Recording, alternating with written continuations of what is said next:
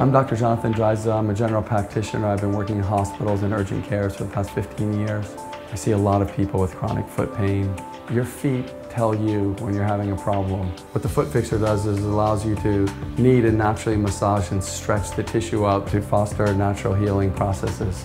I'm seeing people with such significant foot pain that I have to usher them on for steroid injections by specialists or even advanced surgeries to deal with their problem.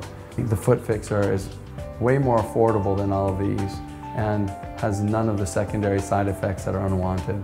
There's not one person I would not recommend this to.